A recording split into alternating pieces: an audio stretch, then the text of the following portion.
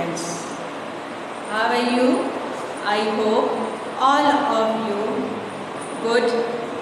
Okay, now today I am going to start your second chapter of your textbook Basic Science Class 8 The Cell.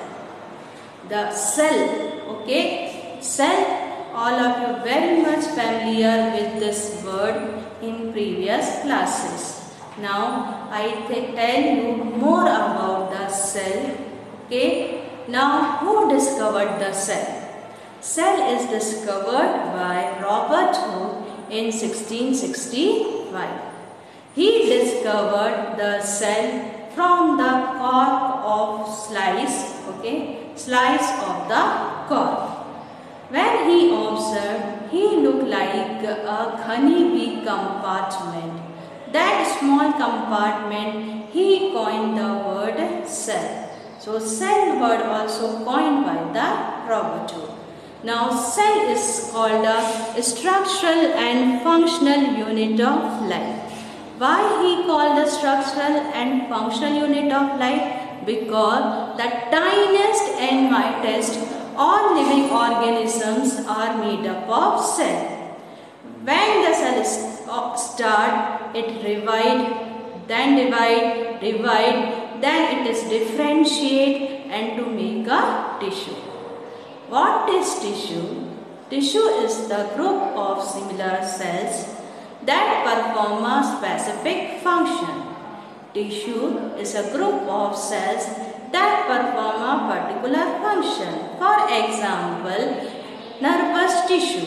Nervous tissue to only conduction of a message.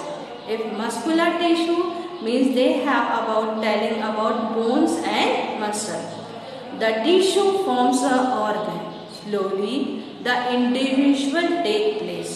Then what is organ? An organ is a group of tissue that work together to perform one and more functions in the body of organism. What is organ? It is a group of tissues, okay, that perform a specific function. For example, heart. Heart what they do? They only pump a blood to the all part of the body. That's why cell is called a building block or structural unit of the living body. The tiniest organism that is unicellular. Unicellular means it is made up of only one type of cell.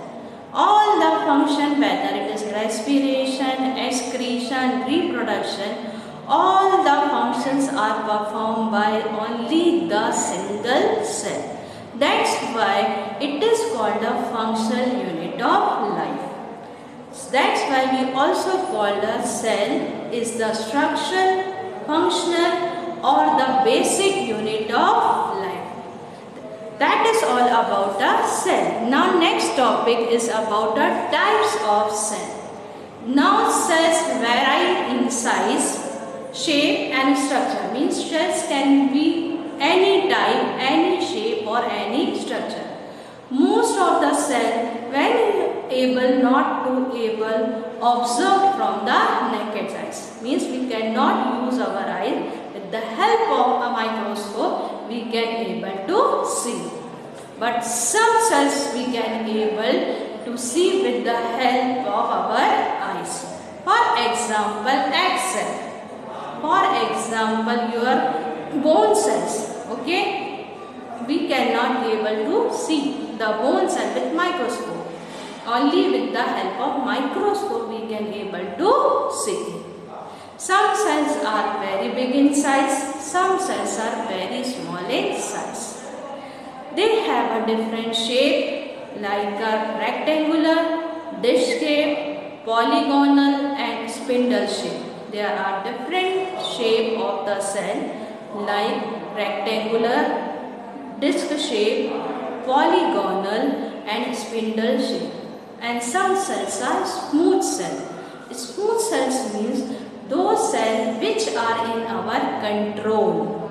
Means if we want to change the position of hand, we can able to change. but to some cells are not smooth that is involuntary okay so that cell is not in our control that cell is not on our control cells are smooth cell voluntaries are there involuntaries are there okay? Even when the internal structure of cell is not the same when you see the internal structure of cell uh, means its composition some have more protein some have less protein some have calcium some does not have calcium means they have a different type of cells. So we be able to appreciate all this better if you see some cells under a microscope. So that is all about the cell. I hope you able to understand this topic. Now thank you